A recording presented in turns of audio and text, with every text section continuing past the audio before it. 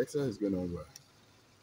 I've had reports of uh, some disruption in some parts of the state, particularly Ilesha and uh, Atakumosa East and West. It's very unfortunate because I've been on this team for quite a while. Our members have been driven out of their homes before the election.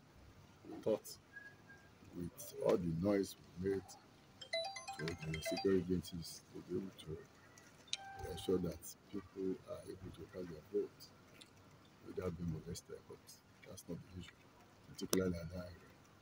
I'm, I'm not surprised if if uh, people are even will ever be allowed to even cast their vote there. So it's, it's something that's very particularly worrisome because that place is actually densely populated. So we're going to have a lot of some of the members not being able to cast their vote. And that will affect the overall result of our performance. That's that's my fear. That's taking too too long.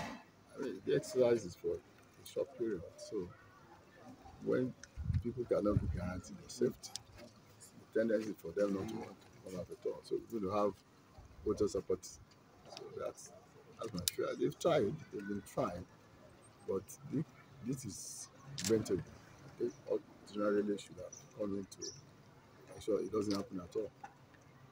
Once you drive away you know, voters, they are not likely to want to come back. So that's that's my fear.